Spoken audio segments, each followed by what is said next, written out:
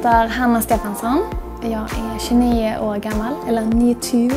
Jag har flyttat till Köpenhamn nu för nästan två år sedan snart och bloggar på heltid på Svenska L. Min skostil är ganska varierande ändå skulle jag säga.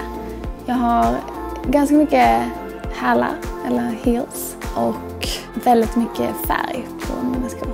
Det är väldigt få par som är svarta.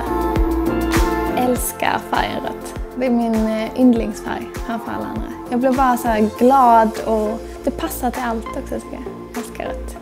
Mina yndlingsskor är ett par eh, röda eh, med ganska så här tjock, chunky heel som är rött lack och som bara passar till allt slingdags.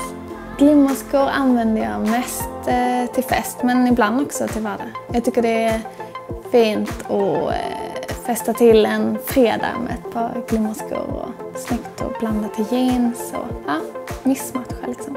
Jag rensar ganska ofta så alla skor som jag har nu tycker jag ändå är väldigt fina och väldigt pena. Jag har ett par vita höga lackboots som jag tycker är super, super smucka nu. Men eh, om några månader är kanske inte de lika, lika show.